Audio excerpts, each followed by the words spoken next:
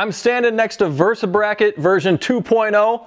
I'm excited to tell you all about it, but that's not even the most exciting thing going on today have a patent pending prototype right here. I'm gonna tell you all about it in just a little bit. Welcome back everybody. Today we're gonna talk about ballast weight for your tractor. Yeah, it's an important topic. That's why I'm focusing on it on the products that I'm developing, but there's a lot of other options you can use as well. And in fact, you're probably gonna find yourself using a combination of multiple options that you either have on hand or need to buy or put together when you're buying your tractor. So we've got 10 ways to ballast your tractor today. We'll tell you briefly why ballast weight is important, why you should consider it, and tell you more about that new product that we have coming as well. So if you do enjoy today's video, I'd love to get a thumbs up from you. Hit that subscribe button to see more tractor videos. And if you want something for your tractor, guess what? We sell tractor attachments. We ship them all over the country. Visit goodworkstractors.com. All right, so a little update here on the VersaBracket. We've gone to version 2.0 now.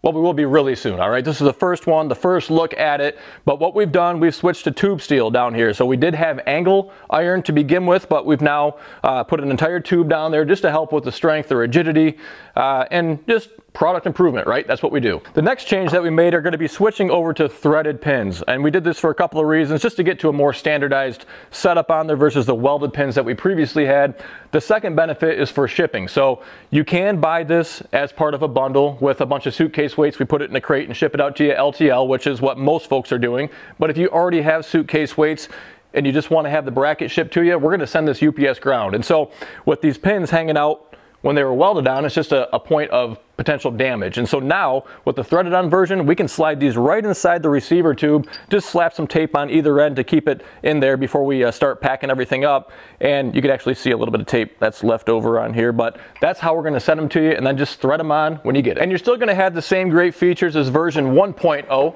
okay? So it's called the VersaBracket for a reason. It can do more than one thing. So the main functionality is gonna be to hold suitcase weights. You can put eight suitcase weights, whether they're 41 or 70 pounds on here, but you have some other features too. So you have a two inch receiver right here. You have a couple of chain hooks right here. And lastly, you're gonna have a chainsaw holder up top that can slide down, fit a 20 inch bar and fit right behind your suitcase weights. And most importantly, it is made in the USA, USA steel, USA labor. Okay, so now let's go really quickly through a whole slew of other ballast weight options for you to consider. And I wanna emphasize just how important ballast weight is, why I make such a big deal about it. You know, I have fortunately never had a complete disaster, but I've had my fair share of close calls over the year, and it's normally because I don't have enough ballast weight on the backside. In fact, even recently, we were testing out an LS tractor, a 40 horsepower tractor, just playing around with it, lifting up some buckets of dirt with a front end loader. It had a uh, a backhoe on the backside of it, but that was it. There was no loaded tires, no wheel weights, and I wasn't in a dangerous situation, but it was enough for me to notice when that bucket was full of dirt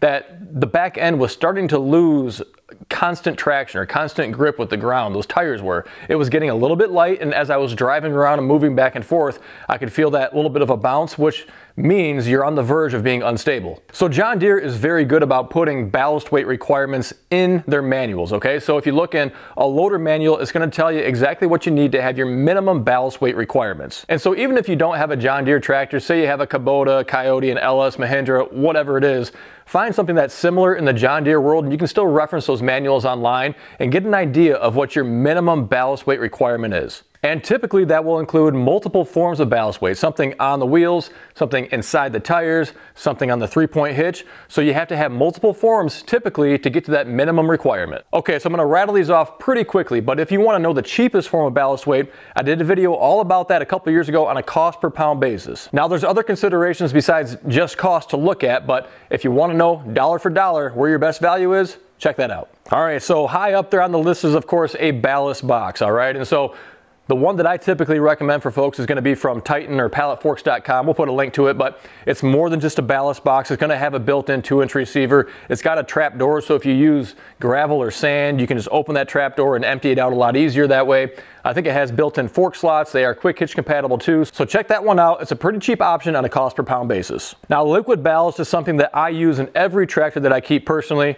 Well, except for my new 1025R that we just got here. I, I, have not done it yet, but I will be doing so. But I think it's such a valuable amount of weight to have just kind of hidden right inside your tires. You don't have to worry about it. You do get some concerns or some questions about is it going to impact uh, when I'm mowing my lawn or driving over my lawn? And yeah, it's going to add some weight as far as that goes, but that weight is spread out across the surface, the contact surface of your tires. So it's going to increase the PSI, but not a whole lot. But for me, that built-in benefit of having that weight that's just hidden there, not taking up any other real estate is pretty beneficial. So I don't sell liquid ballast. I don't really know where you can buy it online. I don't know if it's cost effective to do so. We use a local tire shop, an industrial tire shop over in Mattawan called Meekhof Tire. They just got done loading our new Kubota M4 tractor and they put about 1,700 pounds of liquid ballast in the rear tires.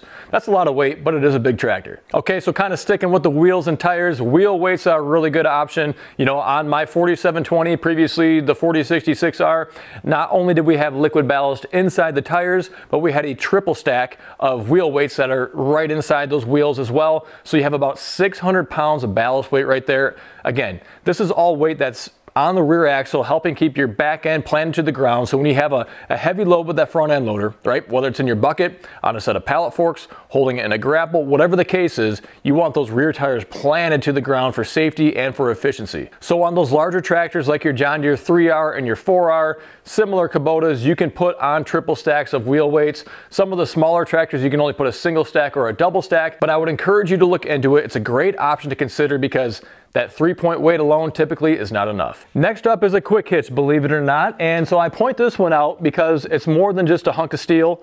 It's gonna serve another purpose besides adding about 70 pounds of ballast weight back here, which is pretty valuable.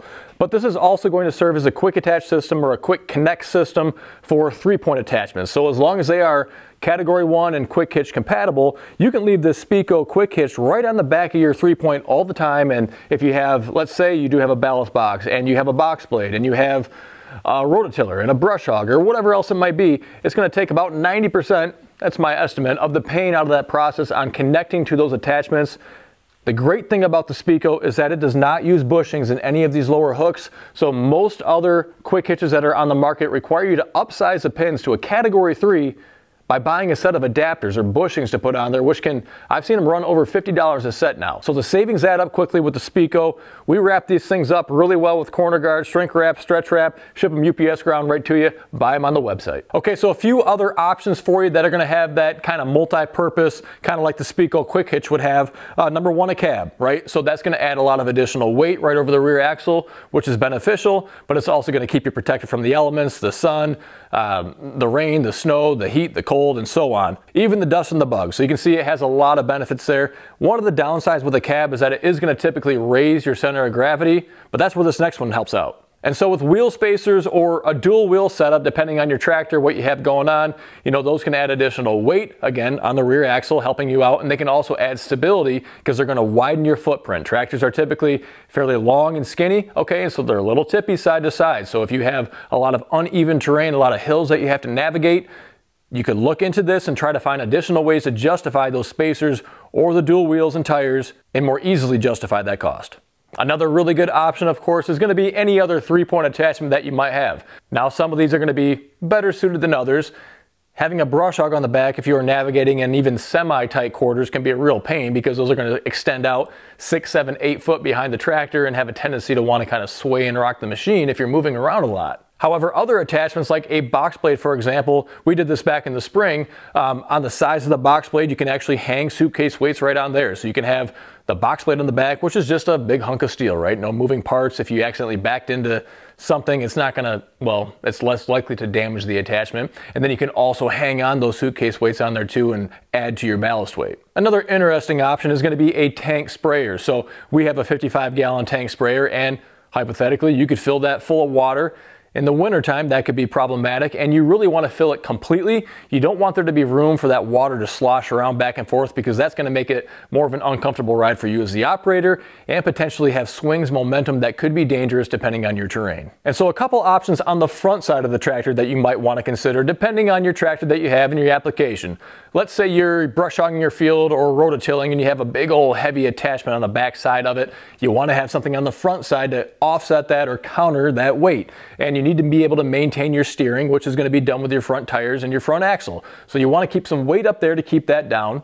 And you can do that in a couple of different ways. Maybe the easiest way, as long as space allows, is just to keep your front end load around with a bucket there and fill it up with a scoop of dirt. That's gonna give you plenty of weight up front and keep those front tires firmly on the ground so that as you're kind of going through the field or wherever you're navigating, you're gonna avoid that bouncy feeling and loss of traction. And another option, whether you have the loader on or off, depending on the tractor, would be to hang suitcase weights right on the front rail of the machine. You can put, I know on the 1025R, five 41 pound suitcase weights right on there, even with the front end loader on. So that's gonna be an additional 200 pounds that you have of weight right up front, helping you maintain your steering ability. All right, and now the prototype, which still have to make a few tweaks, but it's ready to show you what the general premise is. And what this is, is a weight bracket that fits over the corner of a quick hitch, all right, just like the Speco. And what you do, you can put a bolt right through underneath. And this is the part we're still kind of, whoops, finalizing the, uh, the dimensions and the tolerances and all that kind of thing too. And so the premise is, is that this is gonna fit right in the corner. It's not gonna interfere, which again, we're working on a couple, you can see right here, it's hitting that, that bracket. We're gonna lower this down a little bit we're going to make it all work and get and get worked out there, but that's part of the prototype process is kind of getting your initial concept there, making some tweaks based on that. But you're going to be able to hang three suitcase weights, all right? So 41 or 70 pound suitcase weights on both sides of the quick hitch there. So again, the idea behind this and, and why I wanted to do this is because of the fact that oftentimes you want to have ballast weight on there or maybe you need more ballast weight but you don't want to tie up your three-point hitch, right? Say you have a landscape rake or a rear blade or maybe even a small box blade, some other fairly light attachment on the back, and you just need more ballast weight. So now you have the ability to have a three-point attachment on here and then have the additional ballast weight when you need it. And so again, this is just a prototype. Got a few tweaks and modifications to make. If you uh, know of something that we should do or maybe incorporate, we want to keep the cost down, right? It's always that fine line of, of uh, managing everything, right? The features, the quality, the price point. You got to make it affordable to be a shipped product to get delivered right to you. But we're really excited to get this to market. All right, so a couple examples here. You can see if you had 41 pound weights, the total amount between six suitcase weights, the brackets and the quick hitch is about 320 pounds of ballast weight and you still have your three point hitch available. Now if you bump that up to the 70 pound weights, between six 70 pound weights, the two brackets and the quick hitch, you're gonna have about 500 pounds of ballast weight. Again, three point hitch still available. And so again, you know, this is a sneak peek, right? This is a prototype. We got to tighten up some tolerances here, make a few changes here and there, but that load is on this bolt underneath here. So there's no there's no load that's on this bracket. It's free and loose right there, but we want this to be snug. You know, one of the, well, I should say most quick hitches are, are the same square tubing. So the dimensions should be pretty similar. The gussets are gonna be something that is a variable. We're trying to figure that out. Well, we wanna make it universal so that we just have to produce one model, one variation. So that could be multiple holes that are in this bracket. Maybe we need to send a few out to a few other folks and just get their feedback on it too. I don't know, time will tell, but either way, we're pretty excited. All right, well, that's gonna wrap it up for today. So again, most of everything we talked about, not the calves, not the liquid ballast, but I think just about everything else on the list, you can find at goodworkstractors.com. Again, this whole video is about operator safety for you tractor owners out there, so don't take it lightly. I got, I didn't even get a laugh here. It, nobody thinks that's funny? Oh, okay, I'm, I'm too quick. I'm too quick. But seriously, you do not want to find out after it's too late, right? When your rear tires are up in the air or one tire, or your tractor slipped over or it's rolled over, whatever it is, it's no coulda, woulda, shouldas at that point. You need to have this done ahead of time. It's one of the few requirements that I say is blanket coverage for every tractor owner. So again, if you did enjoy the video, I'd love to get a thumbs up from you. Hit subscribe to see more tractor videos. And if you want something for your tractor, you know where to go, goodworkstractors.com. Thanks for taking time out of your day to stop by. And until next time, stay safe with ballast weight, and we'll see you soon.